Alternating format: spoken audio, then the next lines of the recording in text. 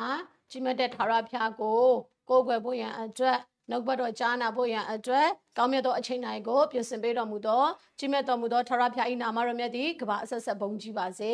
ဖခင်ရဲ့နာမကိုရှေးဥစွာချီးမွမ်းပါတယ်ဖခင်ကိုကျမတို့ကျေးဇူးတင်တယ်ဖခင်ကိုကျမတို့ကျေးဇူးတော်တက်တက်ကြောင့်ကိုးကွယ်ရတာဖြစ်တယ်နော်ဆာလန်ဆရာပြောသလိုပဲကျေးဇူးတော်မှာတပါအခြားသောမင်္ဂလာမရှိဘူးလို့ပြောသလိုပဲကျမတို့ဟာအရာရာတိုင်းသူ့ကိုကိုးကွယ်ရတာဟာကျေးဇူးတော်ကြောင့်ဖြစ်တယ် ကောင်းကင်နေနိုင်ငံမှာနေစရာအရက်ကိုပြင်ဆင်ပေးတာကလည်းကျေးဇူးတော်ကြောင့်ဖြစ်တယ်။အပြစ်ငဲတဲ့ကလည်းလွတ်မြောက်ခြင်းခံစားရတာလည်းကျေးဇူးတော်ကြောင့်ဖြစ်တယ်။ဖယားကွယ်ကာမစလုံချွန်ခြင်းအောက်မှာနေရတာလည်းဖယားဘက်ကကျေးဇူးတော်တသက်ကြောင့်တာလေကျမတို့ဟာဒီနေ့အချိန်ထိအသက်ရှင်လက်ဖြစ်လက်လှုပ်ရှားလက်တည်ရှိနေရတာဖြစ်တယ်။ထို့ကဲ့သို့ကျေးဇူးတော်အဖြစ်ပို့ဆောင်ပေးတော်မူသောထာဝရဘုရားနာမကိုချီးမြှောက်တာဖြစ်တယ်။ခံစားရသောသားသမီးအရောက်တိုင်းမှာဘုရားကောင်းချီးပေးပါစေ။နော်ဖယားအရန်ကောင်းမြတ်ပါတယ်။ပြီးတော့ကျမတို့ယုံကြည်သူတွေကိုနော်ကျမကြော်ညာခြင်းတဲ့အရာလေးရှိပါတယ်ကျမတို့ဒီနေ့လာရှိုးမှာကျမတို့ line တွေမကောင်းဘူးပေါ့နော်ကျမတို့ internet line တွေလုံးဝမကောင်းတဲ့အခါမှာဖုန်း line တွေမကောင်းဘူး internet line တွေပြတ်တောက်ပြီးလုံးဝမကောင်းတဲ့အခါမှာကျမတို့ Zoom အစီအစဉ်တွေကိုကျမတို့ရက်ထားတာတွေရှိပါတယ်လို့နော်ကျမတို့ဒီကြားထဲမှာကျမတို့ယုံကြည်သူများနဲ့ကျမတို့အဆက်အသွယ်ပြတ်ထားတာတွေရှိတယ်နော် Zoom အပြင်ကိုးကွယ်တဲ့အရာတွေကို Facebook YouTube ကနေလှုပ်ဆောင်တဲ့အရာတွေကိုကျမတို့ပြတ်တောက်သွားတဲ့အရာတွေရှိတယ်ပြီးတော့ကျမပေါ့နော်ဒီနေ့ဗုဒ္ဓခုနေ့တိုင်းမှာကျမဆုတောင်းခြင်းအစီအစဉ်ကိုဥဆောင်တာဖြစ်တယ်အဲအစီအစဉ်တွေလည်းကျမတို့ line မကောင်းတဲ့အတွက်ကြောင့်ပေါ့နော်လုံးဝလာရှုံးမှ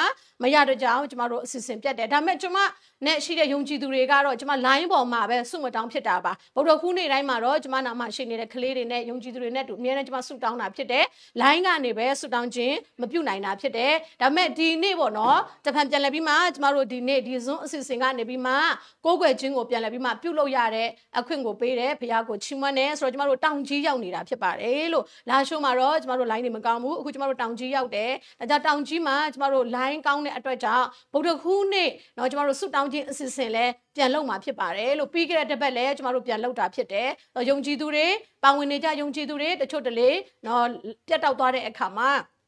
နော်အဆက်အသွယ်များတဲ့အခါမှာကျမတို့ဆူတောင်းခြင်းအစီအစဉ်အဲမရှိတော့ဘူးလို့ထင်ပါဆိုလို့ကျမဒီနေ့မှာပေါ့နော်ကျမတခါတည်းကြီးညာချင်ပါတယ်လို့ကျမတို့ဗုဒ္ဓခူးနေ့ဆူတောင်းခြင်းပြန်ပြီးအများနဲ့ကျမတို့ပြုလုပ်မှာဖြစ်တယ်နော်ကျမတို့ line ရတဲ့ရွေးကျမတို့ကဒီနေ့ဆူတောင်းခြင်းအစီအစဉ်ကိုကျမတို့မရက်တတ်မှာဘူးလို့နော်ဒါကြောင့်ကျမတို့ဗုဒ္ဓခူးနေ့ဆူတောင်းခြင်းအစီအစဉ်လည်းပြန်လုပ်မှာဖြစ်တယ်ယုံကြည်သူတွေအရောက်တိုင်းပြန်လည်ပါဝင်ဖို့ကျမဖိတ်ခေါ်ချင်တယ်ပြီးတော့ကျမဗုဒ္ဓခူးနေ့ကျမတို့ညညနေ6နာရီနဲ့9နာရီ9နာရီနဲ့ကြော်ကြော်အထိကျမတို့ဇွန်အဖြစ်ကိုယ်ွယ်ဝတ်ပြုတဲ့အစီအစဉ်တွေကျမတို့ပြုလုပ်တယ်တောက်ကြနေ့မှာလည်းပြုလုပ်တယ်ဒါကြောင့်ကျမတို့ယုံကြည်သူတွေအခါတိုင်းလိုပဲကျမတို့တောက်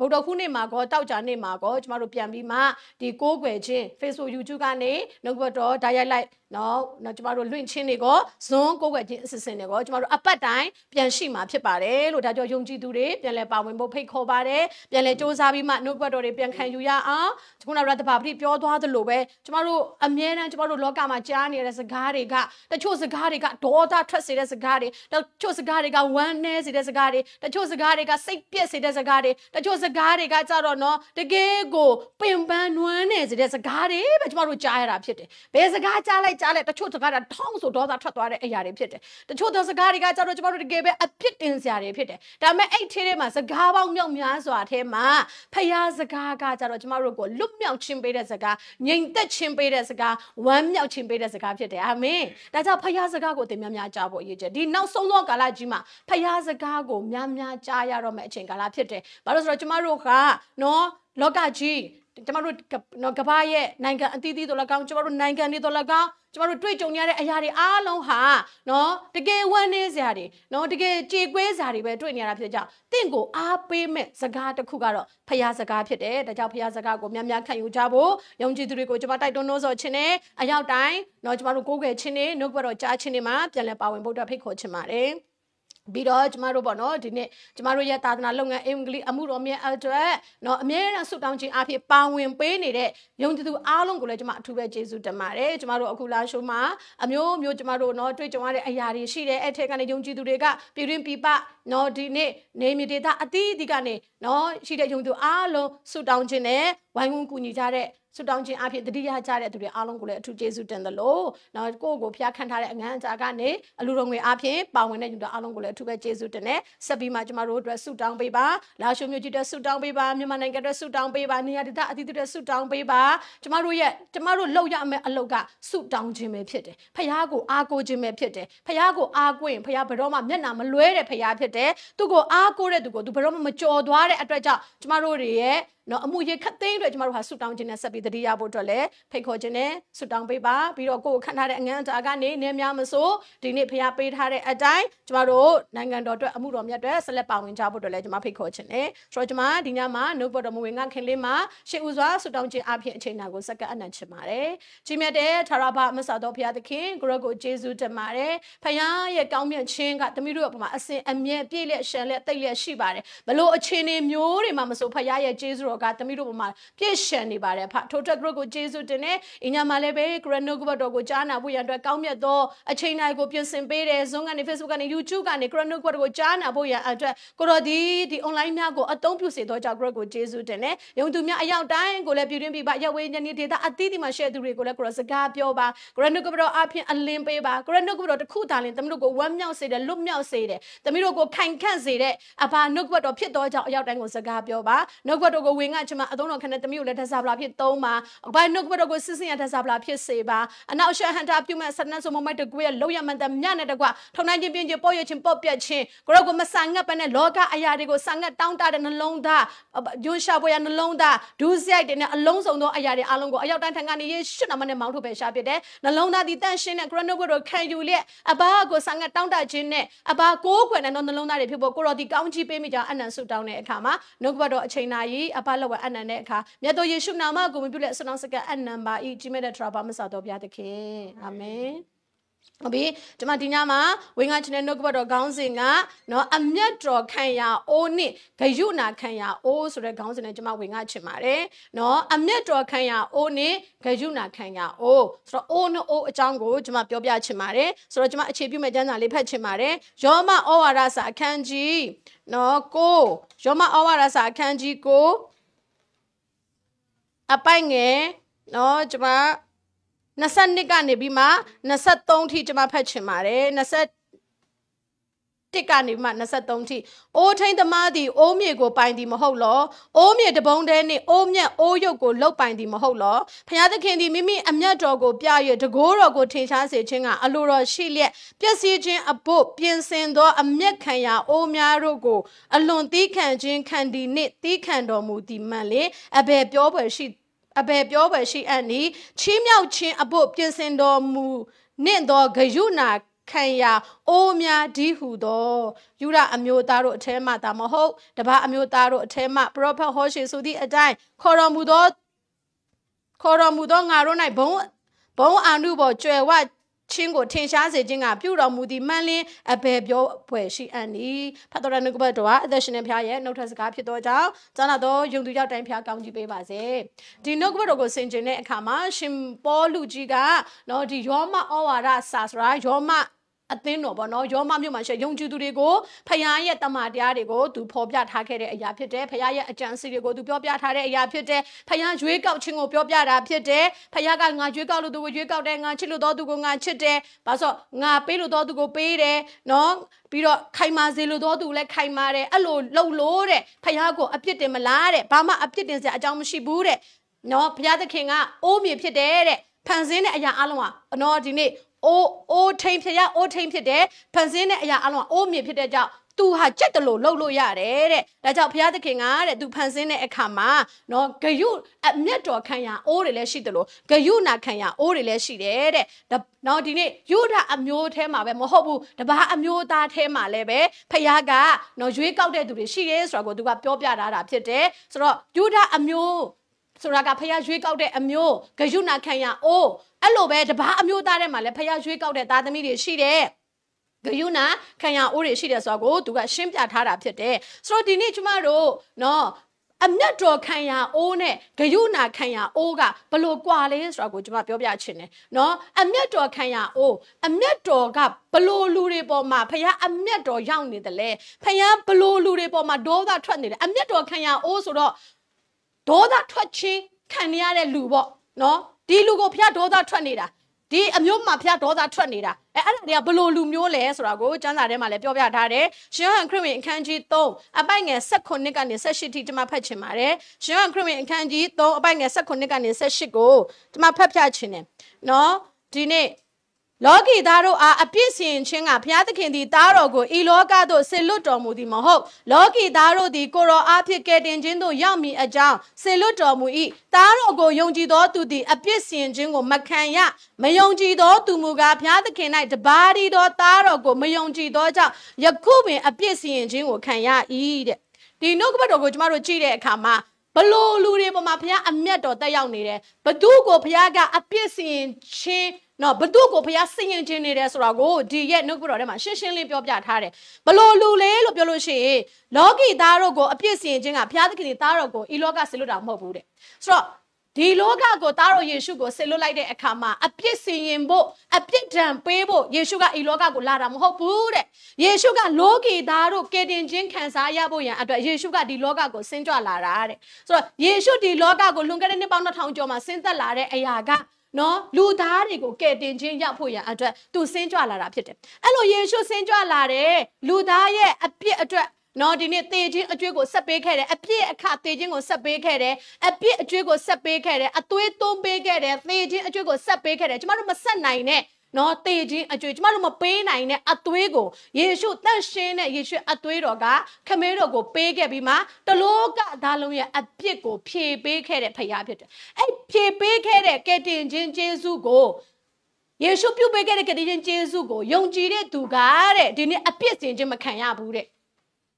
မယုံကြည်သောသူမူကားယခုပင်လင်အပြစ်စီရင်ခြင်းကိုခံရမယ်။ ဒါဆိုလို့ရှိရင်ဖယားအပြစ်စီရင်နေတဲ့သူနဲ့ဖယားအပြစ်မစီရင်တဲ့သူဆိုတာဒီမှာအုပ်စုနှစ်စုရှိတယ်။ဘလို့လူမျိုးကဖယားရဲ့အပြစ်စီရင်ခြင်းကိုခံနေရလဲလို့ပြောလို့ရှိလို့ရှိရင်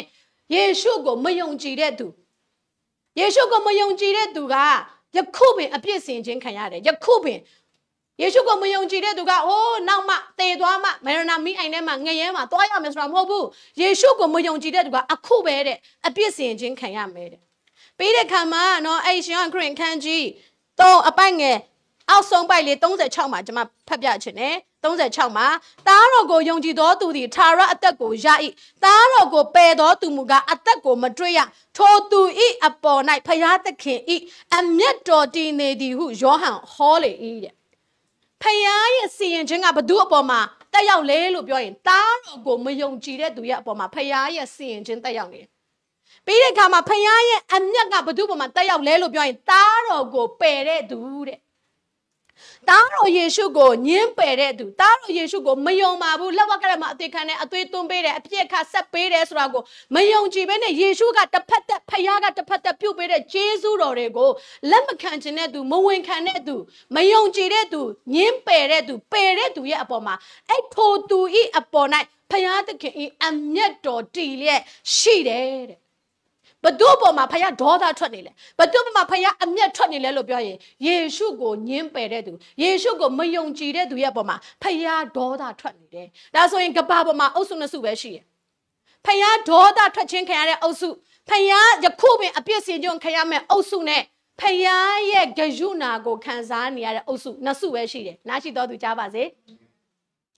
ဒါဆိုလို့ရှိရင်ဒီနေ့ဒီတမန်ကျမ်းစာထဲမှာဘလို့လူအပေါ်မှာဖခင်အမျက်ရောက်နေတာလဲလို့ပြောရင်သားတော်ကိုပယ်တော်သူမူကားတဲ့ထို့သူနော် အသက်ကိုမတွေ့ရဘူးတဲ့တာတော်ကိုယုံတဲ့သူကြတော့ထာဝရအသက်ကိုရတယ်တဲ့ဒါပေမဲ့ပယ်တဲ့သူကကြတော့အသက်ကိုမတွေ့ရဘူးထို့သူအပေါ်မှာဘုရားသခင်အမျက်တော်တက်ရောက်နေဒါဆိုရင်ဖခင်အမျက်တော်တက်ရောက်နေတဲ့အိုးကဘာအိုးလဲလို့ပြောလို့ရှိရင်ဖခင်ကိုမယုံကြည်တဲ့ဖခင်ယေရှုကိုမယုံယေရှုပြုတဲ့ကျေးဇူးတော်တွေကိုညှင်းပယ်ပြီးမယုံတဲ့သူရဲ့အပေါ်မှာဖခင်ရဲ့ဒေါသအမျက်တက်ရောက်နေတာဖြစ်တယ်ဒါဆိုအမျက်တော်ခံရအိုးတွေကဘယ်အိုးတွေလို့ပြောရင် ယေရှုကိုပယ်တဲ့သူတွေကဖခင်အမျက်ခံရတဲ့အိုးတွေဖြစ်တယ်ဒါမဲ့ဒါဆိုရင်သူ့ရဲ့စက်ကျင်ဘတ်ပါလေအမျက်တော်ခံရအိုးတွေကယေရှုကိုညှင်းပယ်တဲ့သူယေရှုကိုမယုံတဲ့သူကအမျက်တော်ခံရအိုးဖြစ်တယ်ဆိုရင်စက်ကျင်ဘတ်သူ့ရဲ့စက်ကျင်ဘတ်ကဘာလဲလို့ပြောရင်ယေရှုကိုယုံကြည်နေတဲ့သူယေရှုကိုမညှင်းပယ်ဘူးကိုရော့ကိုလိုတယ်ကိုရော့ကိုချစ်တယ်ကိုရော့ကိုယုံတယ်လို့ပြောနေတဲ့သားသမီးတွေကကြတော့ဂယုဏခံရအိုးတွေဖြစ်တယ်ဟာလေလုယာဂယုဏခံရအိုးတွေဖြစ်တယ် မသူကဂယုဏခံရအိုးလဲလို့ပြောရင်ယေရှုကိုယုံကြည်တဲ့သူကဂယုဏခံရအိုးဂယုဏခံရအိုးဒါဆိုရင်ဒီနေ့ကျွန်မယုံကြည်သူတွေကိုပြောပြချင်ပါတယ်သင်ဘယ်နိုင်ငံမှာနေနေသင်ဘယ်ဒေသမှာနေနေသင်ဘယ်ပြဿနာထဲမှာနေနေဘယ်ကြောင်းရွာထဲမှာနေနေသင်ရဲ့ဖြစ်ချင်းကိုသင်သိရမှာကငါကဂယုဏခံရအိုးလို့သိရမှာဖြစ်တယ်အာမင်ဂယုဏခံရအိုး အမျက်တော်ခံရအောင်မဟုတ်ဘူးကျမဘုရားသခင်ဆုတောင်းတယ်ဒီနေ့ကျမတို့နော်လာရှိုးမှာကျမတို့အဖြစ်ပြက်တွေအမျိုးမျိုးတင်တို့ကြားတဲ့သတင်းနားထောင်လိုက်တာနဲ့လာရှိုးပါဖြစ်နေတယ်ကျမတို့အားလုံးသိတယ်အဲ့လိုသိတဲ့အခါမှာကျမလာရှိုးမျိုးကြီးအတွက်ကျမဆုတောင်းတယ်နော်ကျမ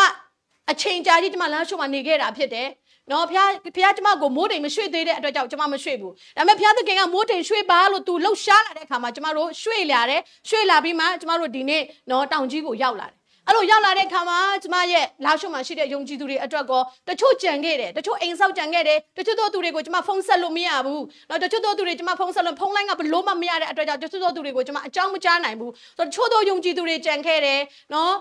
နော်ကျမတို့ရဲ့နော်ခြံဝန်းနေကျမတို့ရဲ့အိုးအိမ်နေကျမတို့ရဲ့နော်တရိတ်ဆန်လေးတွေကအစကြံခဲ့တဲ့ကကျမဆုတောင်းတယ်ကိုတော့ကိုတော့ ဖះကိုပြောတဲ့အခါမှာဖះကကျွန်မဘာစကားပြောလဲလို့ပြောရင်ငါသမီးတင်ကငါ့ကိုယုံကြည်တဲ့သူဖြစ်တဲ့အတွက်ကြောင့်တင်ကငါ့ကိုလိုအပ်တဲ့သူဖြစ်တဲ့တင်ကငါ့ကိုခိုလုံတဲ့သူဖြစ်တဲ့ကြောင့်တင်ကအမျက်တော်ခံရအိုးထဲမှာရှိတဲ့သူမဟုတ်ဘူးတဲ့တင်ကကျေးဇူးတော်ခံရမယ့်သူဖြစ်တယ်တဲ့ဟာလေလုယာကျေးဇူးတော်ခံရမယ့်သူကကျမတို့ဖြစ်တယ်အာမင်ကျေးဇူးတော်ခံရအိုးတွေဖြစ်တယ်ငါစီရင်နေတာနင်တို့တော့မပါဘူးတဲ့ငါအမျက်ဒေါသကြနေတာတင်တို့တော့မပါဘူးတဲ့ဟာလေလုယာ ဒီနေ့ကျမတို့ယုံကြည်သူတွေကြောက်ရွံ့နေတယ်ဒီနေ့ကျမတို့ယုံကြည်သူတွေခက်ခဲတယ်ကျမတို့နော်ကိုယ်အိမ်ကိုယ်အိုးတွေစွန့်ပယ်ရတယ်ကိုယ်ပြည့်စည်တချို့တည်းလဲဆိုဘာမှမပါလာနိုင်ဘူးအဲ့လိုဘာမှဘာမှမပါလာပိုင်းနဲ့ကိုယ်သားသမီးတွေကိုပဲနော်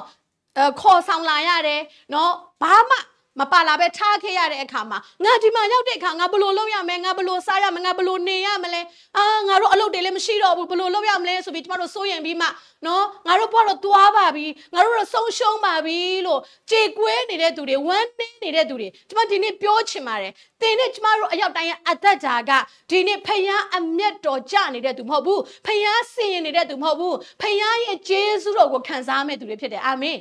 ဂျေဇုတော်ခံရအိုးတွေဖြစ်တယ်ဖယားကကျမကိုပြောတယ် ကျေးဇူးတော်ခံရမယ်အိုးတယ်တဲ့နင်တို့ကတဲ့ဒါကြောင့်နင်တို့ဘာမှမစိုးရိမ်နဲ့ငါတင်တို့ကိုကျေးဇူးပြုမယ်တင်တို့ဘယ်မှာရောက်ရောက်ဘယ်ဒေသရောက်ရောက်လာရှုံမနေနေတောင်ကြီးမနေနေလွယ်လင်မနေနေနမ်ဆမနေနေကျမတို့ဟာဖယားကိုယုံကြည်နေတဲ့သားသမီးတွေဖြစ်တဲ့အတွက်ကြောင့်ကျေးဇူးတော်ခံရအိုးများဖြစ်တယ်ဟာလေလုယာကျေးဇူးတော်ခံရအိုးကျေးဇူးတော်ခံရအိုးတွေကအိုးဆိုတာအမျိုးမျိုးရှိတယ်ရေထဲတဲ့အိုးရှိတယ်စီထဲတဲ့အိုးရှိတယ် နော်ဒီနေ့ဓာတ်စီထဲတဲ့ပုံးတွေအိုးတွေရှိတယ်ဓာတ်စီထဲတဲ့အားဆိုဓာတ်စီပဲထဲတာနော်နောက်ပြီးတဲ့အခါမှာကျမတို့ရေနံစီတွေထဲတယ်ဒီဇယ်တွေထဲတယ်တွားပြီးမှားပြီးထဲလို့မရဘူးကိုပြတ်သုံးတဲ့ခါအဆင်မပြေဘူးရေထဲတဲ့အိုးတွေရှိတယ်ရွှေအိုးရှိတချို့တချို့ပတ်စံချမ်းသာရေရွှေအိုးတွေရွှေတွေထဲတာရွှေအိုးရှိတယ်ငွေအိုးရှိတယ်စုဘူးလေးတွေလောက်ထားတယ်ပတ်စံထဲတယ်ဘူးလေးတွေပတ်စံထဲတယ်ပတ်စံအိတ်ထဲမှာဆိုပတ်စံထဲတယ်ကိုဘာလောက်ထားလဲဒီအိုးကကိုဘလို့လောက်ထားတယ် စီထည့်ဖို့လုပ်ထားရင်စီပဲထည့်မှာငွေထည့်ဖို့လုပ်ထားရင်ငွေထည့်မှာရွှေထည့်ဖို့လုပ်ထားရင်ရွှေထည့်မှာအဲ့လိုပဲဖခင်ကသင်တဲ့ကျမကိုဂျေဇုနဲ့ဂယုနာခံရအိုးအဖြစ်ဖန်ဆင်းထားတဲ့အတွက်ကြောင့်လှုပ်ထားတဲ့အတွက်ကြောင့်ဂျေဇုနဲ့ဂယုနာတော်ကိုညွှန်းလောင်းပေးမှာဖြစ်တယ်အာမင်ကျမတို့ရဲ့အထင်းမှာဂျေဇုနဲ့ဂယုနာတော်ကျမတို့ကကျမတို့အိုးကဂျေဇုတော်ခံရအိုးဂယုနာခံရအိုးဖြစ်တဲ့အတွက်ကြောင့်ဖခင်ရဲ့ဂျေဇုတော်တွေတောလောင်းပေးလာမှလောင်းချပေးလာမှသင်ရဲ့အထဲကိုအာမင်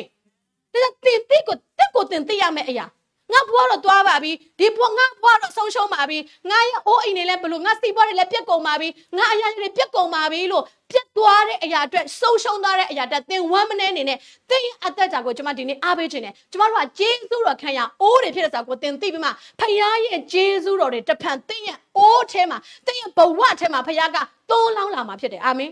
ဖခင်ပြန်လောင်းထည့်လာမယ်ဖခင်ပြန်လောင်းထည့်လာမယ် စိတ်မပြတ်နဲ့တဲ့ကိုကိုဝင်ခံရအောင်ငါဟာဂယုဏခံရအောင်ဖြစ်တယ်လို့ဝင်ခံရအောင်ငါဟာဂယုဏခံရအောင်ဖြစ်တယ်အာမင်ဒီနေ့ကျမတို့ကစိတ်သက်ကြစရာတွေကောင်းတာဗောလောကကြီးမှာကိုအိုကိုအိမ်နဲ့ကိုအရာရာတွေစွန့်ပေးပြပြလိုက်ခါမှာငါစီးပွားရေးတွေအော်တချို့ယုံကြည်သူတွေဆိုတော့စီးပွားရေးတော့သူတို့ယင်းနှမြုံနှံထားတာသိန်းရာချီသိန်းထောင်ချီယင်းနှမြုံနှံခဲ့တာဖြစ်တယ်အဲ့ဒါတွေကိုဒီတိုင်းထားခဲ့ရတယ် ကိုအိုးအိမ်နေနော်ဆောက်လုပ်ထားတဲ့အရာတွေသိန်းရချီထောင်ချီကိုထားခဲ့ရတယ်နော်ဒီအိမ်တွေစောက်ထားတဲ့အခါမှာပျက်စီးသွားတဲ့အရာတွေရှိတယ်ဝမ်းမနေပါနဲ့ဖယားသခင်ကဂျေဇုနဲ့ဂယုဏခံရအိုးဖြစ်တဲ့ကိုဖန်ဆင်းတဲ့သူ့ရဲ့ဂျေဇုနဲ့ဆက်ပြီးတင်းရဲ့စီးပွားရေးကိုခေါ်ဆောင်အောင်မှာဖြစ်တယ်အာမင်တင်းရဲ့စီးပွားရေးကိုသူကျေးဇူးတော်နဲ့ခေါ်ဆောင်မယ်တင်းပြန်တွေ့လာရမှာဖြစ်တယ်အာမင်ဘာဆိုတော့တင်းရဲ့ဖြစ်ခြင်းကိုကဂယုဏခံရအိုးဖြစ်လို့ကျေးဇူးတော်ခံရအိုးဖြစ်လို့ဖြစ်တယ်အာမင် အဲ့ဒါတင်းရဲ့ဖြစ်ခြင်းပဲတခါကျကျမတို့ကမေ့သွားတယ်ငါလည်းအထင်မှာပါသွားမယ်ထင်တယ်ငါလည်းဆုံးရှုံးတော့မယ်ထင်တယ်အိုးသူတို့တွေဖြစ်တယ်လို့ငါလည်းဖြစ်မယ်ထင်တယ်မဟုတ်ဘူးမတူဘူးမတူဘူးဖခင်အမျက်တော်ကြပြီးစင်ရင်နေတဲ့သူနဲ့ကျမတို့နဲ့လုံးဝမတူဘူးအာမင်ကျမတို့ကကြတော့ဖခင်ကကျမကိုစကားပြောတယ်ငါသမီးငါစင်ရင်နေတဲ့သူတွေငါအမျက်ကြနေတဲ့သူနဲ့နင်တို့လုံးဝမတူဘူးတဲ့တင်တို့ကကြတော့တဲ့တခြားသောသူတွေကဖခင်မျက်နှာလွဲတဲ့အတွက်ကြောင့်တဲ့ အဲ့စင်ရင်ချင်းတွေအဲ့ဒုက္ခတွေအဲ့ရပြဿနာတွေသူတို့မှတက်ရောက်ရတာဘာလို့ဖျားမျက်နှာလွဲလို့ဒါပေမဲ့တင်ကကြတော့ငါမျက်နှာလွဲခြင်းခံတာမဟုတ်ဘူးတဲ့တင်ကကြတော့ငါဂယုစိုက်ပြီးမှငါရဲ့ဂယုစိုက်ခြင်းနော်နှလုံးနဲ့ကြည်ချင်းခံရတဲ့သူဖြစ်တယ်တဲ့အာမင်ငါဂယုစိုက်နေတာတဲ့တင့်ကိုကြတော့ ကျမတို့ကိုဖျားဂယုစိုက်တယ်ဘာလို့ကျေးဇူးတော်ခံရအိုးဖြစ်တဲ့ကျမတို့ကကြတော့ဖျားဂယုစိုက်တခြားသောသူတွေကကြဖျားမျက်နှာလွယ်ဘာလို့အပြစ်တွေလေအပြစ်တွေလေဒီနေ့ကဘာပေါ်မှာဖြစ်တဲ့သမျှအရာအားလုံးအနိဋ္ဌယုံနဲ့အမျိုးမျိုးကဇစ်မြစ်ကအပြစ်ကြောင့်နော်ဇစ်မြစ်ကအပြစ်ကြောင့်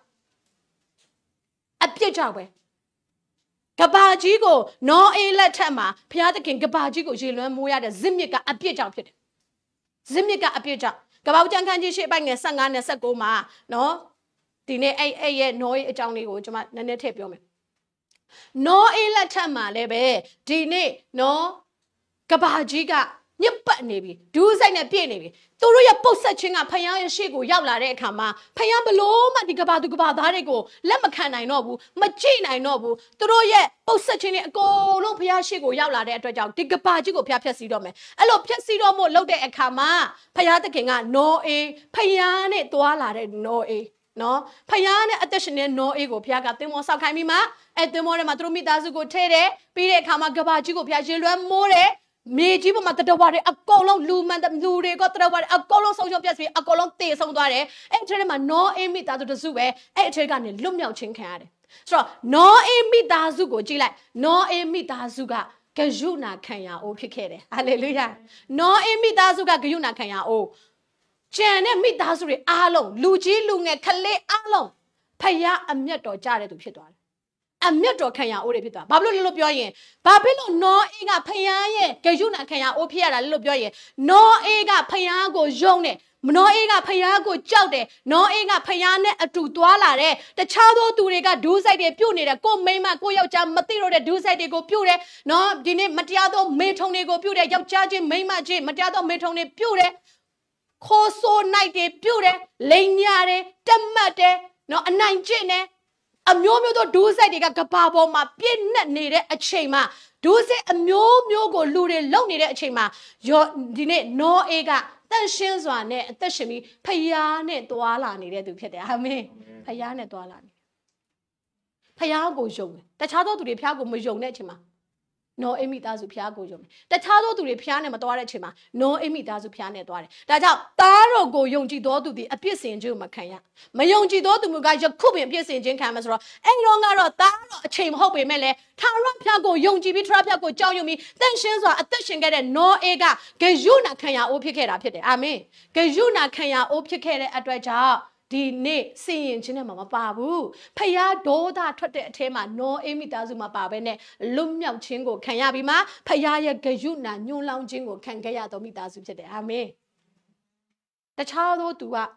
ဖယားအမျက်ကျသွားတယ်ဒါကြောင့်ဒီကဘာပေါ်မှာဒီနိုင်ငံမှာပတ်ဝန်းကျင်မှာခသိန်းသောအရာတွေဖြစ်နေတဲ့ဇစ်မြစ်ကဒူးစရာအပြစ်ပဲ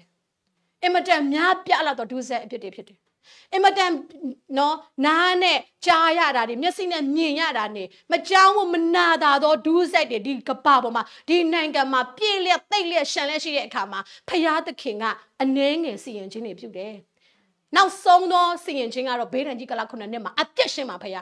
အခုကနည်းနည်းလေးပဲလုပ်သေးတယ်အခုစီရင်ခြင်းကဖခင်နည်းနည်းလေးပဲလုပ်သေးတယ်မကြာခင်ဘေးရန်ကြီးကာလခုနှစ်နှစ်မှာတော့ဖခင်သခင်ကဘာပေါ်မှာရှိတဲ့လူတွေအားလုံးကိုအပြစ်စီရင်တော့မှာဖြစ်တယ်အဲအချိန်ကြလို့ချင်းအခုထက်ကြောက်စရာကောင်းတဲ့အရာကိုလူတိုင်းတွေ့ကြုံရမှာဖြစ်တဲ့နားရှိတော်သူကြားပါစေ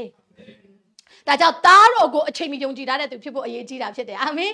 သားတော်ကိုအချိန်မီမယုံထားဘူးဆိုရင်တော့တင့်အတွက်အရန်ကြောက်စရာကောင်းသွားပြီတင်အခုအချိန်နေမှာတော့တင်အရန်ကြောက်တယ်မဟုတ်လားအခုအချိန်နေမှာဒီကဘာရဲ့အချိန်နေနဲ့နိုင်ငံအချိန်နဲ့ပတ်ဝန်းကျင်အချိန်တွေကိုတင်သိကြောက်တယ်မဟုတ်ဘူးလားတင်လွတ်မြောက်ခြင်းနဲ့ဆိုရင်တော့သားတော်ကိုယုံကြည်တဲ့သူဖြစ်ရမယ်အာမင်တားတော်ကိုယုံကြည်တဲ့သူအပြစ်စင်ခြင်းမခံရဘူးယခုပင်အပြစ်စင်ခြင်းမခံရဘူး။ပြီးရင်သားတော်ကိုယုံကြည်သူယုံကြည်တဲ့သူကထာဝရကာလရဲ့စီရင်ခြင်းထဲမှာလည်းမပါရဘူး။ကောင်းကင်ရွှေပြည်မှာနေရမယ့်သူဖြစ်တယ်။ ဒါကြောင့်ဒီနေ့ကျမတို့နော်နောအေးက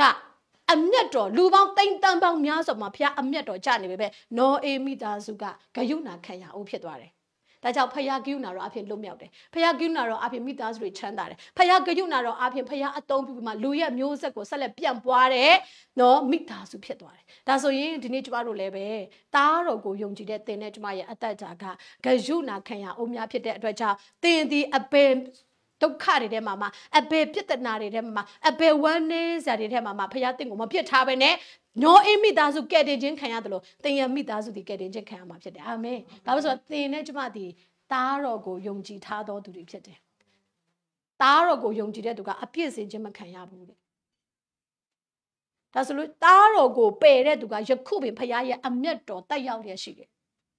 ထို့သူအပေါ်မှာဖခင်အမျက်တော်ရောက်နေတယ်ဒါဆိုလို့ရှိရင်ဒီနေ့ မိသားစု9ယောက်ရှိရယ်သားသမီး3ယောက်ရှိရယ်အဖေအမေရှိရယ်အဖေက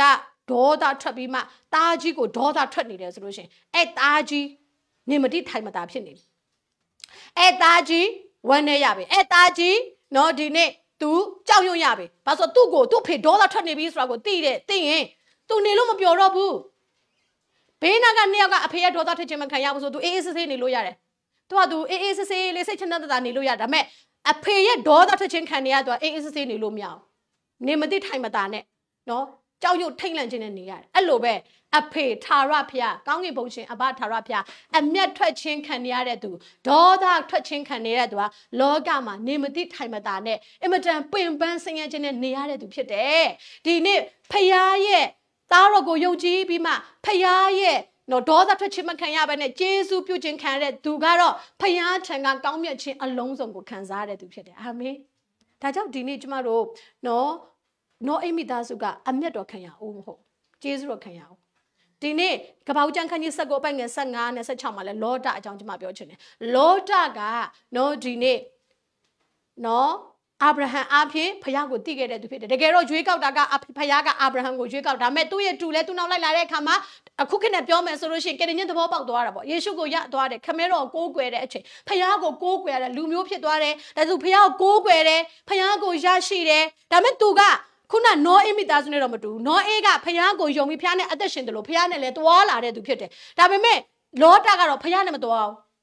သူကတော့တိုးလုံးနဲ့ဂေါမောရဂေါမောရာမြို့မှာနေပြီးမှ လောကထဲမှာအသက်ရှင်နေသူဖြစ်တယ်ဖယားသားဖြစ်ပေမဲ့သူကဇာတိလူ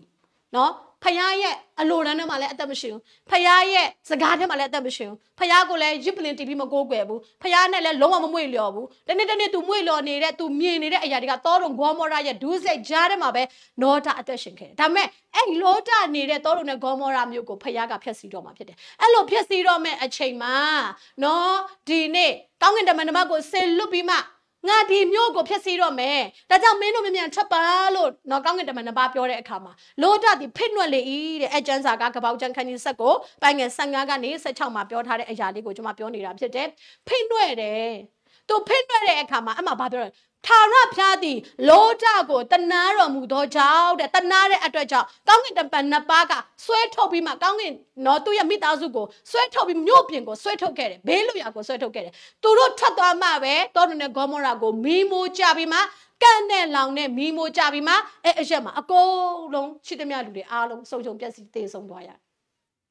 ဖျားစီရင်တယ်ဖျားတော်ရုံနဲ့ဂေါမာရာမြို့ကြီးကိုစီရင်တယ်ဖျားသခင်တော်ရုံနဲ့ဂေါမာရာမြို့ကြီးကိုအမျက်ကြတဲ့အတွက်ကြောင့် ဖယားသခင်စီရင်ခြင်းအမှုပြုလိုက်တယ်ဒါပေမဲ့အဲ့စီရင်ခြင်းထဲမှာလောဒမိသားစုမပါဘူးဘာဖြစ်လို့လောဒမိသားစုမပါဘူးလဲလို့ပြောရင်လောဒကဖယားကိုယုံတဲ့မိသားစုဖယားကိုရရှိတဲ့မိသားစုဖြစ်တဲ့အတွက်ကြောင့်အဲ့ဒီစီရင်ခြင်းနဲ့အဲ့အမျက်ဒေါသအထက်မှာလောဒမိသားစုကိုဖယားမချန်ခဲ့ပဲနဲ့ကယ်နှုတ်ခဲ့တာဖြစ်တယ်အာမင်ကယ်နှုတ်ခဲ့တယ်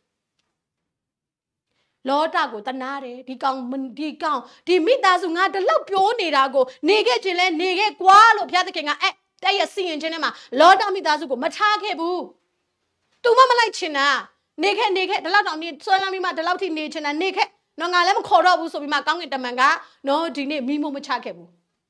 သူတို့ကိုရအောင်ကဲထုတ်သွားတယ်ဘာဖြစ်လို့ဆိုတော့လောတကဖယားကိုယုံကြည်တဲ့မိသားစုဖြစ်တဲ့အတွက်ကြောင့်ဖယားကအဲ့စီရင်ခြင်းထဲမှာမထားခဲ့ဘူးဖြစ်တယ်အာမင် ဒီနေ့လောကကြီးကိုဘာစီရင်နေလဲဖယားဖယားဘသူတွေကိုအမျက်ထွက်နေလဲပတ်ဝန်းကျင်မှာဘာတွေဖြစ်နေလဲဘလို့စီရင်ခြင်းနေလဲဘလို့မျိုးအမှုတွေကျမတို့လောကကြီးမှာမြင်ဆိုင်နေရလဲတွေ့ကြုံနေရလဲဒီနေ့ဘလို့ပဲတွေ့ကြုံတွေ့ကြုံသင်နဲ့သင်မိသားစုကိုဖယားသခင်ကရအောင်ကဲထုတ်မဲ့ဖယားရှင်ဖြစ်တယ်အာမင်ကွယ်ကပေးမဲ့ဖယားရှင်ဖြစ်တယ်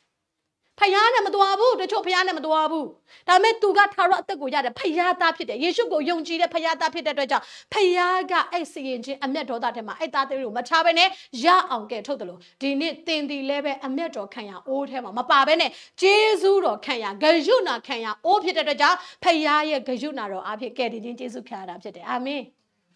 ကျမတို့အကျင့်ကုသိုလ်ကြောင့်မဟုတ်ဘူးဒီနေ့ကျမတို့လွတ်မြောက်လာတာဒီနေ့ကျမတို့ကယ်တင်ခြင်းကျေးဇူးခံရတာကျမတို့ကောင်းစားတာကျမတို့အကျင့်ကုသိုလ်ကြောင့်မဟုတ်ဘူးဖခင်ရဲ့သားတော်ကိုယုံကြည်ခြင်းအပြင်ရရှိတဲ့ကောင်းကြီးတွေဖြစ်တယ်အာမင်သားတော်ကိုရရှိထားတဲ့ကောင်းကြီးသားတော်ကိုလက်ခံထားတဲ့ကောင်းကြီးကဘယ်အခြေအနေတိုင်းမှာမဆိုခံစားရတာဖြစ်တယ်အာမင်ဒါကြောင့်နော်ဒီနေ့ဒီနောအေးတို့လောတာတို့နော်အပြစ်စီရင်ခြင်းမခံရဘဲနဲ့ ဒီနေ့လွတ်မြောက်ခြင်းခံစားရတာဟာသူတို့ဟာဂယုနာခံရအိုးဖြစ်နေလို့ဖြစ်တယ်အမျက်တော်ခံရအိုးတာဖြစ်ခဲ့တယ်ဆိုရင်သူတို့ကအဲ့စီရင်ခြင်းနဲ့မှာပါပြီးမှလောတာအကြောင်းမတ်တန်းတင်စားရှိမှာမဟုတ်ဘူးသူလည်းပဲနော်ဒီနေ့လောင်ကျွမ်းသွားတဲ့အထက်မှာပါသွားမှာဖြစ်တယ်ဒါကြောင့်ဒီနေ့ယုံကြည်သူတွေကျွန်မပြောချင်တယ်သင်ယေရှုကိုယုံကြည်ထားတဲ့သူသင်ယေရှုကိုဝန်ခံထားတဲ့သူသင်ယေရှုကိုလက်ခံထားတဲ့သူဖြစ်တဲ့အတွက်ကြောင့်သင်နဲ့ကျွန်မဟာဂယုနာခံရအိုးများဖြစ်တယ်အာမင်ဒါကြောင့်သင်ဘရောမဆုံးရှုံးဘူး တင့်ကိုဘုရားသခင်ဆုံးရှုံးခြင်းနဲ့မှာစီရင်ခြင်းနဲ့မှာဘယ်တော့မှတင့်မိသားစုကိုမထည့်ထားဘူး။ဒါကြောင့်တင်းရဲ့တတမဝမ်းနဲ့နဲ့မစိတ်ပြက်နဲ့မကြခင်မှာဘုရားသခင်ကတင်းရဲ့အတနာတင့်မိသားစုပေါ်မှာဂျေဇုတော်ခံရအိုးဖြစ်တဲ့အတိုင်းဂျေဇုဂယုဏများကိုညွန်းလောင်းပေးလာမှာဖြစ်တယ်။အာမင်။ညွန်းလောင်းပေးလာမယ်။ဆုံးရှုံးသွားတဲ့အရာတွေရှိပါတယ်။အမျိုးမျိုးသောအရာတွေတင်တွေ့ရပါတယ်ဘ လို့နေမလဲဘလို့ထိုင်မလဲဘလို့စားမလဲဘလို့တောက်မလဲဆိုတော့ကိုသင်စဉ်းစားပြီးမှစိုးရိမ်နေတဲ့သူတွေရှိတယ်ဒါပေမဲ့ဒီနေ့ကျွန်မပြောချင်ပါတယ်အမျက်တော်ခံရအိုးမဟုတ်ဘူးသင်ဟာဂယုဏခံရအိုးဖြစ်တဲ့အတွက်ကြောင့်ဖယားသင်ကိုအကောင်းဆုံးမဆမယ်လို့ကျွန်မနှုတ်ဘတ်တော်အဖြစ်အားပေးခြင်းတယ်အာမင်ဆိုတော့ကျမ်းစာနဲ့46ခုမြောက်သောစာလံအပိုက်ငယ်1ကိုကျွန်မဖတ်ခြင်းတယ်နော် နော်ထာဝရဘုရားသည်ငါတို့ခိုလုံရာဖြစ်၍ခွန်အားကိုပေးတော်မူ၏တဲ့ဘေးရောက်သည့်ကာလအထူးသဖြင့်ကူမတော်မူကြောင်းထင်ရှားလျက်ရှိထာဝရဘုရားငါတို့ခိုလုံရာဖြစ်တယ်တဲ့ထာဝရဘုရားသည်ငါတို့ခိုလုံရာဖြစ်ခွန်အားကိုပေးတယ်တဲ့တကယ်မှန်တယ်ကျမလမ်းရှုံးမှာရက်တအကြာကြီးကျမနေခဲ့တာဟုတ်တယ်နော်တတော်လုံးတတိုင်းကြားထဲမှာကျမနေခဲ့တယ်ထာဝရဘုရားကျမခိုလုံတယ်ခိုလုံတဲ့အတိုင်းဖျားရှင်ကျမကိုညင်သက်ခြင်းနဲ့ပေးတယ်လုံချုံနဲ့ခွန်အားကိုပေးတယ်ခွန်အားပေးတော့ဖျားရှင်နာမှာဘုန်းကြီးပါစေ ထာဝရဘုရားဒီငါတို့ခေါ်လုံရဖြစ်ခွန်အားကိုပေးတယ်ဆိုတဲ့အတိုင်းပဲခွန်အားပေးခဲ့တယ်ဘေးရောက်လာတယ်အဲ့ဒီဘေးရောက်လာတဲ့အခါမှာကျမတို့အဲ့ညမှာနော်ကျမတို့နော်ဘေးရောက်တယ်ကျမရဲ့ပတ်ဝန်းကျင်မှာအများကြီးပဲဘေးတွေရောက်တယ်တတော်တော်တိုင်းတိုင်းနဲ့ဘေးရောက်တယ်ဒါပေမဲ့ဘုရားသခင်ရဲ့အထူးကယ်မခြင်းအပြင်ကျမလူတရာကြော်နဲ့ကျမလာလာရှိုးကနေတောင်ကြီးကိုဘုရားချောချောချောချူချူနဲ့ဘုရားပို့ဆောင်ခြင်းကျေးဇူးကိုခံစားခဲ့ရတာဖြစ်တယ်အာမင်အထူးဘုရားသခင်ကျမတို့ကိုဘေးရောက်တဲ့ကာလမှာအထူးကွယ်ကာခဲ့တယ် ကျွန်တော်ပုံဝင်းကျင်မှာအများကြီးနော်ဒီနေ့ဘုံနေအများကြီးကျွန်မပုံဝင်းကျင်မှာကြာသွားတယ်ကျွန်တော်တို့အိမ်ထဲကိုတခုမကြဘူးဟာလေလုယာဖခင်သခင်ကွဲကားတယ်ဘေးရောက်သည့်ကာလအထုသဖြင့်ကူမတော်မူကြောင်းထင်ရှားလျက်ရှိတကြောင်ဘေးရောက်လာတဲ့အခါမှာကျွန်တော်တို့ကအယမ်းကြောက်တယ်ကျွန်တော်တို့အိမ်ညမှာအားဆုတောင်းကြတယ်တော့ကျွန်မနာမယုံကြည်သူတွေကျွန်မနာမနော်ဒီနေ့ကျွန်မအမှုတော်ဆောင်တွေကျွန်မကလေးတွေအများကြီးရှိတယ် ကျမဆုတောင်းတယ်ဆုတောင်းတောင်းတောင်းတောင်းတဲ့အတိုင်းစေနာရီလောက်ထိပဲနော်ကျမကျမတို့နေတဲ့အချိန်စေနာရီလောက်ထိပဲနော်အဲ့ဘုံတန်တွေအဲ့ရဲ့အရာရာတွေပေါ့နော်အမျိုးမျိုးအရာတွေပတ်ဝန်းကျင်မှာကြားရတယ်စေနာရီပြီးတော့တဲ့ခါမှာရက်သွားတယ်ဘုရားသခင်ကရှင်သစ်နှုတ်ကိုပိတ်လိုက်တယ်ဟာလေလုယာရှင်သစ်တွင်နေတော့ခဏထဲလိုက်တယ်။ဘာလို့ဆိုဘုရားသခင်ကျမတို့ကိုစစ်တဲ့အရာတွေရှိတယ်။ဘုရားသခင်ကျမတို့ကိုပေးတွေ့တဲ့အတွေ့အကြုံတွေရှိတယ်။ကျမတို့ကိုစစ်ဆေးတဲ့ဆောင်မဘက်ကိုအောင်ဖို့ဘုရားရှင်ကျမတို့ကိုဒီနေ့တုံတင်တဲ့အတိုင်းပဲကျမတို့ဟာအောင်မြင်စွာဖြတ်သန်းနိုင်ခဲ့တယ်။ဟာလေလုယာ။ ဆိုတော့အဲ့ညမှာဘုရားကရှင်သေးနှုတ်တွေပိတ်ခဲ့တယ်မနဲ့မိုးလင်းလာတဲ့အခါမှာကျမကလေးတွေနဲ့ကျမကျမယုံကြည်သူနဲ့ကျမအများကြီးနော်ခေါ်ထုတ်လာနိုင်တယ်။အရာရာအားလုံးသူ့ညာနဲ့သူအကုတ်အစင်သစ်ဖျားရှင်အရာအားလုံးလုပ်ပေးထားပြီးမှဒီနေ့တရက်ကိုမှမဆုံးရှုံးစေဘဲနဲ့ဖျားပို့ဆောင်ခဲ့တယ်ထို့ဖျားရှင်နာမှာဘုန်းကြီးပါစေ။ ဖဖခင်အဲ့လိုမှစားဘေးရောက်တဲ့ကာလအထူးသဖြင့်ကိုမတော်မူကြောင်းထင်ရှားလဲရှိဘေးရောက်ပြီဆိုလို့ရှိရင်ကျမတို့ကဒီနေ့ငါ့ကိုဖခင်သခင်ပြစ်ထားလိုက်ပြီထင်တယ်ဘေးတွေရောက်လာပြီဆိုတော့ဖခင်သခင်ငါတို့ကိုနော်မကြည့်တော့ဘူးထင်တယ်လို့သင်မခံစားပါနဲ့ဘေးရောက်လေလေဖခင်ရဲ့အထူးကယ်မခြင်းရှိတယ်လေပဲဖြစ်တယ်အာမင်ဘေးရောက်တဲ့သူကဖယားရဲ့ကဲ့တင်ခြင်းကိုအထူးမြင်ရတာဖြစ်တယ်။ဒါကြောင့်ဣသရေလလူမျိုးတွေကဘေးရောက်ခဲ့တယ်။အရှိမပင်လဲအနောက်မှာဖာရောစတက်လိုက်တယ် အလွန်ကြီးတဲ့ဘေးရောက်ခဲ့တယ်သေဘေးအရှိမပင်လေဆိုတဲ့သေဘေးအနောက်မှာဖာရောစတက်လိုက်ချင်းဆိုတဲ့သေဘေးနှစ်ခုကြားထဲမှာဂျင်းနဲ့ကြက်ထဲမှာရောက်ခဲ့တယ်အဲ့လိုအချိန်မှာတို့ငါတို့သေပါပြီငါတို့သွားပါပြီလို့သူတို့ထင်ပေမဲ့အဲ့အချိန်မှာဖယားရဲ့ကဲတင်ခြင်းကအိုးဗျာပင်လေပြင်ခြင်းကိုနှချမ်းခွဲပြီးမှတစ်ဖက်မှာကြောက်ထင်ခဲ့သူတစ်ဖက်တစ်ချက်ရှိစေပြီးမှလမ်းကိုပေါ်ပြီးမှအထူးကဲတင်ခြင်းအမှုကိုပြုခဲ့တဲ့ဖျားရှင်ဖြစ်တယ်အာမင်ဒီနေ့နော်ဖယားပြောပြီးပြီလေ ဘေးရောက်သည့်ကာလအထုသဖြင့်ကူမတော်မူကြောင်းထင်ရှားတယ်။အဲ့အချိန်မှာဖခင်ကယ်တင်ခြင်းကိုထင်ထင်ရှားရှားကြီးအဲ့ဘေးတွေရောက်မှထင်ထင်ရှားရှားကြီးမြင်ရတာပင်လေခွဲခဲ့တယ်ဆိုတာကအဲ့ဂျင်းနဲ့ချက်ထဲရောက်မှဖခင်ရဲ့ကယ်တင်ခြင်းကိုမြင်ရတယ်။တကယ်လို့အဲ့ပင်လေမှာမဟုတ်ဘူးဆိုအဲ့ကယ်တင်ခြင်းကိုတို့တစ်သက်လုံးမမြင်ရဘူး။ကျွန်မလည်းဒီကယ်တင်ခြင်းအကြောင်းပြောစရာကိုမရှိဘူး။ပင်လေခွဲပေးခဲ့တယ်ပင်လေခွဲပေးခဲ့တဲ့ဖခင်ဖြစ်တယ်လို့ကျွန်မပြောစရာအကြောင်းမရှိဘူး။ဒါပေမဲ့သူတို့ကိုဂျင်းနဲ့ချက်ထဲမှာဖခင်ပို့ပြီးမှဘေးရောက်တဲ့ကာလမှာအထုကယ်တင်ခြင်းကိုမြင်ခဲ့ရတာဖြစ်တယ်။အာမင်။ ဒီနေ့သင်ရဲ့အသက်တာကိုကျွန်မပြောချင်တယ်သင်အခုဘေးရောက်နေတယ်သင်အခုဒုက္ခရောက်နေတယ်သင်ရဲ့စာဝတ်နေရေးတွေအတွက်သင်ရဲ့အမျိုးမျိုးသောနေဖို့ထိုင်ဖို့စားဖို့တောက်ဖို့အတွက်သင်အမျိုးမျိုးသောဘေးဒုက္ခတွေကိုသင်တွေ့ကြုံတဲ့အခါမှာသင်စိတ်မကြပါနဲ့ဒီလိုအချိန်မှာဖခင်သင်ကိုဘလို့ကျွေးမွေးကြောင်းဒီလိုအချိန်မှာသင်ကိုဘလို့မဆကြောင်းသင်ထင်ထင်ရှားရှားကြီးမြင်ရမယ့်အချိန်ကဒီအချိန်ပဲဖြစ်တယ်အာမင်။ဒါဆိုတော့အဘေးရောက်တဲ့ကာလမှာအထူးသဖြင့်ကူမတော်မူကြောင်းထင်ရှားတယ်။ထင်ရှားလာမှာဖခင်ကယ်တင်ခြင်းကထင်ရှားလာမှာ ဒါကြောင့်နော်ရှာတွက်မရှိအဘိနေဂေါတို့ဒန်ယေလတို့ချင်းသစ်တွင်းထဲမှာရောက်တဲ့အခါမှာဒီချင်းသစ်တွင်းဆိုတဲ့ဘေးထဲမှာမီးဆိုတဲ့ဘေးထဲမှာရောက်လာတဲ့အခါမှာဖယားကိုတော်တိုင်မီးတဲ့ကိုစိတ်ကြွလာပြီးမှကဲတင်ချင်းအမှုကိုပြုတ်ခဲ့တဲ့အတွက်ကြောင့်စံကြီးတပင်တော်မှမီးမမြိုက်ပဲနဲ့ကိုခန္ဓာမှာဘာမီးလောင်တဲ့အနက်မှမရှိပဲနဲ့ဖယားရဲ့ထင်ထင်ရှားရှားကြီးကဲတင်ခဲ့တဲ့အရာကိုတကယ်ဘာလို့ဝါကနေဟကနေနဲ့မြင်တွေ့ရတဲ့အရာတွေကိုဖယားပြုတ်ခဲ့တာဖြစ်တယ်အာမင်အဲ့အချိန်ကဘယ်အချိန်လဲ ဘေးရောက်တဲ့ကာလမဟုတ်လို့ရှိရင်အဲ့ချက်တော့မရှိအဲ့ဘီမီးဘေးတဲ့ကိုမရောက်ဘူးဆိုလို့ရှိရင်ဖះဘလို့ကဲ့တင်တယ်ဆိုတော့ကျွန်တော်တို့မတွေ့ရဘူးဒါပေမဲ့အဲ့ဘေးတွေကိုသူတို့ရောက်ခဲ့တဲ့အတွက်ကြောင့်ဖះကောင်းမြတ်ခြင်းနဲ့ဖះကဲ့တင်ခြင်းကိုကျွန်မအခုအာရပါရတသက်ခံဝါကြွားခွင့်ရှိတာဖြစ်တယ်အာမင်မကြခင်မှာလဲကျမတို့ဟာဖះကောင်းမြတ်ခြင်းကိုတအားကြွားအောင်မှာဖြစ်တယ်အာမင်ကျမကြွားခဲ့ပြီးပြီဖះကောင်းမြတ်ခြင်းကိုအခုလက်ဆက်ကြွားအောင်မှာဘာလို့ဆိုတော့ကျမတို့ကဘဝမှာဖះရှင် သစ်ကတွင်းတွေကနေကဲတင်ခဲ့တဲ့အရာတွေဘုရားရှင်ကျမတို့ကိုနေ့စဉ်အသက်တာမှာကဲတင်ခဲ့တယ်ကဲတင်ခြင်းဆိုတာအမျိုးမျိုးပဲအမျိုးမျိုးကိုကဲတင်ခဲ့တော်ဘုရားရှင်ဖြစ်တယ်အာမင်ဖခင်ကတခုတည်းကဲတင်ခဲ့တဲ့ဖခင်မဟုတ်ဘူးစားခြင်းမှလည်းကဲတင်တယ်ဝစ်ခြင်းမှလည်းကဲတင်တယ်သွားခြင်းမှလည်းကဲတင်တယ်လာခြင်းမှလည်းကဲတင်တယ်အိတ်ခြင်းမှလည်းကဲတင်တယ်အသက်ဘေးအနေနဲ့လည်းကဲတင်တယ်ကိုမလုံနိုင်တော့ဘူးကိုမဖြစ်နိုင်တော့ဘူးဆိုတော့အခြေအနေလည်းကဲတင်တယ်ကဲတင်ခြင်းအမှုအမျိုးမျိုးကိုပြုတ်တက်တော်ဘုရားရှင်နာမှာဘုန်းကြီးပါစေအဲ့ဒါသင်နဲ့ကျမကိုးကွယ်တော်ဘုရားပဲဖြစ်တယ် ဒါကြောင့်ဒီနေ့ကျွန်မပြောချင်ပါတယ်ဒီနေ့သင်အရာရာတွေအတွက်မစိုးရိမ်ပါနဲ့တင့်ကိုတင်သိရအမှာကငါကဖယားအမျက်ဒေါသခံစားနေရတဲ့သူထဲမှာငါမပါဘူး ဖယားသခင်စည်ရင်ထဲထဲမှာငါနဲ့ငါမိသားစုမပါဘူးငါနဲ့မိသားငါနဲ့ငါမိသားစုကဖယားရဲ့မျက်စိတော်နဲ့ဂယုစိုက်ပြီးမှငါသမီးဘာလို့နေတယ်ငါသားဘာလို့နေတယ်ငါသမီးဘလို့နေဖို့လို့နေတယ်ငါသမီးဘလို့စားဖို့လို့နေတယ်ငါသမီးဘလို့ကျမ်းမရေမကောင်းဘူးငါသမီးမှာဘလို့ပြဿနာတွေဖြစ်နေတယ်ဆိုတာကိုသိပြီးမှမဆခြင်းခံရမယ်ဂယုနာခံရအိုးတွေဖြစ်တယ်အာမင်အဲ့ဒါကျမတို့ပဲဝန်ခံရအောင်အဲ့ဒါကျမတို့ပဲလို့ယောက်ျားလေးဆိုကျွန်တော်ဝန်ခံရအောင်အဲ့ဒါကျမတို့ပဲအာမင် ဟဲ့ကျမတို့ဂိူနာခံရဦးတွေလေတစ်ဖြစ်ချင်းကိုတင်မမေ့သွားနဲ့ဂယုနာခံရဦးတွေဖြစ်တဲ့ကြောင့်ဂယုနာဖယားရဲ့ဂယုနာတဲ့တဲ့အိုးဆိုတဲ့တဲ့ဘဝထဲကိုဖယားဂယုနာတွေလောင်းထည့်ပေးလာမယ်ဟာလေလုယာလောင်းထည့်ပေးလာဖယားရဲ့ဂျေဇုတွေကိုသင်ရဲ့ဘဝအသက်တာထဲမှာဖယားလောင်းထည့်လာမယ်သင်မြတ်ဝါထင်ထင်ချင်းမြင်တွေ့ရအောင်မှာဖြစ်တယ်အာမင်ဘာဖြစ်လို့လဲသင်ရဲ့ဖြစ်ချင်းကိုကဘာဖြစ်ချင်းလဲလို့ပြောရင်ကျွန်မလည်းဒီကလိုက်ပြောရအောင်ဘာဖြစ်ချင်းလဲ ဂယုနာခံရအိုးများဖြစ်တယ်အာမင်အဲ့ဒါသင်ဖြစ်ခြင်းပဲတားတော်ကိုမယုံတဲ့သူကတော့အာမခံလို့မရဘူးတားတော်ကိုပယ်တဲ့သူတွေကတော့အာမခံချက်မရှိဘူးယခုပင်အပြစ်စင်ခြင်းလို့ပြောတဲ့အတွက်ကြောင့်အင်မတန်ကြောက်စရာကောင်းတယ်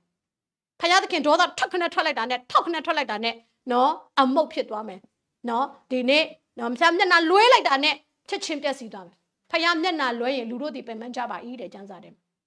ဒါပေမဲ့ဖယားမျက်နှာလွှဲခြင်းမခံရဘဲနဲ့ဖယားဂယုစိုက်ခြင်းခံရတဲ့သူကကြတော့အရာရာမှာကောင်းစားခြင်းနဲ့ချီးမြှောက်ခြင်းရှိတယ်အာမင်ဒါကြောင့်ဒီနေ့ကျမတို့ရဲ့ဖြစ်ခြင်းတွေကိုကျမတို့ပြန်တတိယရအောင်ဖယားကကျမကိုနော်စိုးရိမ်တဲ့အရာတွေနော်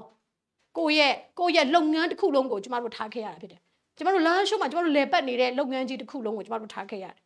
ယုံကြည်သူတွေနဲ့ကျမတို့နော်လုပ်ငန်းတွေနဲ့ အရာအရာကိုကျမတို့ထားခဲ့ပြီးမှကျမတို့ကဒီနေ့နော်ပြောင်းရွှေ့လာတဲ့အခါမှာနော်အနောက်မှာကြံခဲ့တဲ့အရာတွေအတွက်စိုးရင်တဲ့သူတွေကစိုးရင်တဲ့ကြောက်တဲ့သူကစိုးရင်တဲ့ဟောဘလို့ဖြစ်သွားမလဲဘလို့လဲဆိုတော့ကျမတို့စဉ်းစားစဉ်းစားတယ်ဒါမဲ့ဒီနေ့ကျမတို့ဘလို့ပဲအရာတွေတွေ့ပါစေကျမတို့ကအဲ့အထက်မှာပျက်စီးဆုံးရှုံးသွားမဲ့သူတွေမဟုတ်ပဲနဲ့ဖခင်ရဲ့ဂရုဏာတော်နဲ့ဂျေဇုတော်ကိုတဖန်ပြန်လဲပြီးမှအိုးစရာကောင်းအောင်ပြန်ခံစားရမယ့်သားသမီးတွေဖြစ်တယ်အာမင်ဒါကြောင့်သင်ရဲ့ဖြစ်ခြင်းကိုသင်အမြဲမှတ်ထားပါ ငါဟာသားတော်ကိုယုံကြည်တဲ့သူဖြစ်တယ်ငါဟာသားတော်ကိုမပယ်ဘူးငါအတွက်သားတော်ကအမြဲလိုအပ်တဲ့သူဖြစ်တယ်အဲ့လိုလိုအပ်တဲ့ဖះကိုလိုအပ်ပြီးဖះကိုချစ်ပြီးဖះနဲ့အသက်ရှင်တဲ့သူရဲ့အသက်တာထဲမှာဖះရဲ့ဂယုနာတွေကစင်စက်မပြတ်စင်စင်လာမှာဖြစ်တယ်။ဒါကြောင့်ဒီနေ့ကိုကိုကိုကိုတိပါ သူများပေါ်မှာအမျက်ကြတယ်လို့သူများပေါ်မှာဒေါသကြတယ်သူများပေါ်မှာတခုခုဖြစ်တယ်ငါတို့ပေါ်မှာလည်းဖြစ်လာမလားမသိဘူးငါတို့မိသားစုမှာဒီလိုဖြစ်လာမလားမသိဘူးငါတို့စီးပွားရေးတွေဒီလိုဖြစ်လာမလားမသိဘူးလို့မစိုးရိမ်ပါနဲ့တင်နဲ့ကျမဟာဂယုနာခံရအိုးဂျေဇုတော်ခံရအိုးဖြစ်တဲ့အတွက်ကြောင့်ဂျေဇုတော်များကိုအမြဲတမ်းဘုရားကညှိုးလောင်းပေးလာမယ်ဒီနေ့အချိန်ထိလည်းဘုရားဂျေဇုတော်နဲ့ကျမတို့ကိုပို့ဆောင်နေတယ်အာမင်ဒီနေ့မနေ့မိုးလင်းလာတာနဲ့ဘုရားဂျေဇုနဲ့ပြေဝနေတယ်အာမင် ဒီနေ့မနေ့မိုးလင်းလာတာနဲ့စားဖို့ဝတ်ဖို့တောက်ဖို့နော်ဒီနေ့ကျမသွားလာဖို့ဘုရားအစင်သစ်လုပ်ပေးထားတဲ့အရာတွေတပုံကြီးပဲအဲ့ဒါကိုကြည့်ကြည့်အဖြစ်ဘုရားတင့်ကိုဂျေဇုပြုတ်နေတယ်ဆိုတာသိချတာဖြစ်တယ်အာမင်သိချတယ်သိချတယ်လိုအပ်တာတွေတစ်ခုတစ်ခုဖျားပြင်ဆင်ပေးနေတယ်ဆိုတာဖျားဂယုဆိုင်လို့လေဖျားဂယုပြုတ်နာပြနေလို့လေဖျားကျေးဇူးပြုနေလို့လေတင့်စီရောက်လာတာပေါ့ ဖယားဂယုဏပြနေလို့တင့်စီမှာသူ့ရဲ့မဆာခြင်းနဲ့ဒီနေ့ထိတက်ရောက်နေတာပေါ့ဒါကြောင့်ဒီနေ့ယုံကြည်သူများဘလို့အမှုတွေပဲရက်ဝဲခြင်းနဲ့ပြင်းပြင်းပြမရှိယုံကြည်သူတွေဘလို့ပြဿနာထဲမှာတင်ရှိနေလဲဘလို့ယောဂါထဲမှာရှိနေလဲဘလို့မျိုးခံစားချက်တွေဘလို့နာကျင်ခြင်းထဲမှာရှိနေလဲသင်အဲ့ဒါတွေကိုမစင်စားဘဲနဲ့ငါဂယုဏခံရအိုးဖြစ်တဲ့ကြောင့်ဂယုဏတော့အဖြစ်ငါဖယားရှင်ဂယုဏတော့အဖြစ်ငါပြန်ကျမ်းမာမဲ့သူဖြစ်တယ်ဖယားဂယုဏတော့အဖြစ်ငါပြန်ကောင်းစားမဲ့သူဖြစ်တယ်ဖယားရဲ့ဂျေဇုတော့အဖြစ်ငါရဲ့အသက်တာကပြန်ပြီးမှအောင်မြင်မဲ့သူတိုးတက်မဲ့သူကောင်းစားမဲ့သူဒီအောက်ခြေ နော်အောက်ဆုံးအခြေအနေထိရောက်တော့လဲရှင်ဘောလို့ပြောတယ်လို့အောက်တော့လဲခြင်းခံရတော့လဲဆုံးရတော့မရောက်ပဲနဲ့ချီးမြှောက်မဲ့သူလို့ကိုကိုကိုဝန်ခံနိုင်တဲ့သူဖြစ်ပါစေအဲ့ဒါတင်နဲ့ကျမရဲ့ဖြစ်ခြင်းပဲတင်နဲ့ကျမရဲ့ဖြစ်ခြင်းကတိတ်ကိုကောင်းမွန်တဲ့ဖြစ်ခြင်းဖြစ်တဲ့အတွက်ကြောင့်ကိုယ့်ရဲ့ဖြစ်ခြင်းကိုကိုသိပြီးမှဂယုဏခံရအိုးများဖြစ်တဲ့အတွက်ကြောင့် ကိုဘဝမှာခံစားနေရတဲ့အရာအတွက်တင်စိတ်မပြတ်ပါနဲ့ဖခင်ဂယုနာတော်ရှိတယ်ဖခင်ရဲ့ဂျေဇုတော်တင့်ပေါ်မှာရှိတဲ့အတွက်ကြောင့်အဲဂျေဇုနဲ့ဂယုနာတော်အဖြစ်တင့်ကိုဖခင်ကတဖန်ပြန်လဲပြီးမှပို့ဆောင်မယ်ကောင်းကြီးပေးမယ်ဖခင်ရဲ့ဂျေဇုတော်နဲ့ပြန်လဲလှုပ်ဆောင်တဲ့စီးပွားရေးတွေဖခင်ဂျေဇုနဲ့ပြန်လဲတိဆောက်ရတဲ့အိမ်ထောင်တွေဖခင်ဂျေဇုနဲ့တိဆောက်ရတဲ့ကိုယ့်ရဲ့အိုးအိမ်တွေဖခင်ဂျေဇုနဲ့တိဆောက်တဲ့ကိုယ့်ရဲ့ဘဝဖခင်ရဲ့ဂျေဇုနဲ့ပြန်လဲတိဆောက်ဂယုနာနဲ့ပြန်တိဆောက်တဲ့ကျမ်းမာရေးတွေဖြစ်စေမှာဖြစ်တယ်အာမင် ဒါကြောင့်ဒီနေ့ကျမတို့နော်ကျမတို့ကအမျက်တော်ခံရအိုးမဟုတ်ဘူးနော်ဒါကြောင့် ကျေးဇူးခံရအိုးဖြစ်တယ်ဂယုဏခံရအိုးဖြစ်တယ်ဆိုတော့ကိုကိုကိုတိမှတ်ပြီးမှဖခင်ရဲ့ဂယုဏတော်ကိုတင်မျောလေးမှာဖခင်ဂယုဏနဲ့ကျေးဇူးတော်ကိုတင်စိတ်ချပါဒီနေ့ချိန်นี้တင်အသက်ရှင်နေတာသွားနေတာစားနေတာတောက်နေတာနေရတာထိုင်ရတာအရာအလုံးလုပ်နေရတာဒီနေ့ထိဘုရားရဲ့ဂယုဏနဲ့ကျေးဇူးမပြတ်တော့ကြောင့်ဒီနေ့ကျမတို့ခံစားရတယ်လို့စက္ကန့်တိုင်းမိနစ်တိုင်းနိုင်တိုင်းရက်တိုင်းလတိုင်းအရှိအနာဂတ်မှာလဲဆက်ပြီးကျေးဇူးဂယုဏကိုခံစားရအောင်မဲ့သူကတင်နဲ့ကျမဖြစ်တဲ့အတွက်ကြောင့်ဖခင်ဘုမှာစိတ်ချပြီးမှအသက်ရှင်တော်ယုံသူများဖြစ်ဖို့ညာအတွက်ကျမအိနုကိုရဝင်ငါခြင်းနဲ့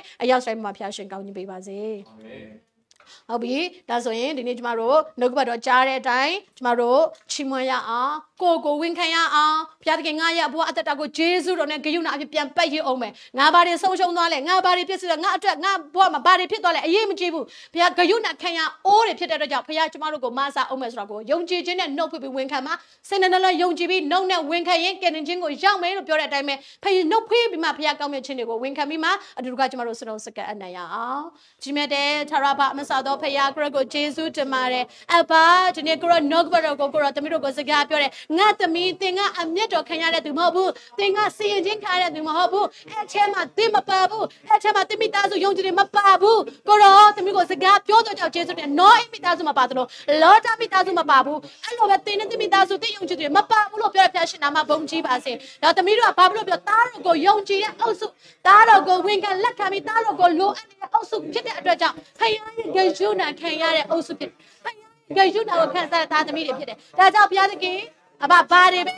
အဘပြရှင်ထားခဲ့ရထားခဲ့ရဘလို့ဘဝအသက်တာတွေကိုပဲသမီးတို့သွားရသွားရဘလို့အခြေအနေတွေကိုပဲဖြတ်တန်းရဖြတ်တန်းရသမီးတို့ရှိတဲ့နေရာမှာဘုရားသခင်သမီးတို့ကိုဂျေဇုပြုတ်မဲ့ဘုရားဂယုဏပြအောင်မဲ့ဘုရားဂယုဏနဲ့ပို့ဆောင်မဲ့ဘုရားရှင်ဖြစ်တော်ကြောင့်နာမဘုံကြီးပါစေသမီးတို့ဖြစ်ချင်းကိုကဂယုဏခံရအိုးများဖြစ်တယ်သမီးတို့ဖြစ်ချင်းကိုကဂျေဇုတော်ခံရအိုးများဖြစ်တော်ကြောင့်ဘုရားရဲ့ဂျေဇုတော်တွေကိုသမီးတို့ဘဝထဲကိုလောင်းထည့်ပေးအောင်မယ်ဘုရားဂယုဏတွေကိုသမီးတို့ကိုလောင်းထည့်ပေးအောင်မယ်ဘုရားရှင်နာမဘုံကြီးပါစေဟာလေလုယာကိုရောကိုဂျေဇုတင်တယ်ဒါကြောင့်အဘရဲ့ဒီနေ့သမီးယုံကြည်သူတွေဩဘာသမီးရဲ့သားသမီးတွေရဝဲရနေပြင်းပြပမှာရှက်သားသမီးတွေဘလို့အခက်ခဲတွေဘလို့ဒုက္ခတွေဘလို့ဆင်းရဲခြင်းတွေမှာရှိနေပါစေမဝမ်းနေပါစေနဲ့ဖယားသခင်သူတို့ကိုဂျေဇုနဲ့ပြတ်ပတ်ချေအောင်မယ်ဂေရှုနာတော့ပြက်ကက်ထီအောင်မယ်ယောဂါတွေကနေပြဿနာတွေကနေဒုက္ခတွေကနေဂျင်းကျခြင်းတွေကနေအရှိလည်းမတော်တဲ့အနောက်လည်းမတော်တဲ့နဲ့ဖြစ်နေတဲ့ဘဝအတ္တဂျင်းကျခြင်းတွေမှာဂေရှုနာတော့အပြင်ဖယားကက်တင်ခြင်းဂျေဇုကိုခံစားရအောင်မှာဖြစ်ပါတယ်အဘဒီလိုခက်ခဲတဲ့အချိန်တွေဒီလိုမျိုးပြဿနာများတဲ့အချိန်တွေလုံးဝအောင်တော့မစင်စားတတ်ဘူးဆိုတဲ့အချိန်မှာ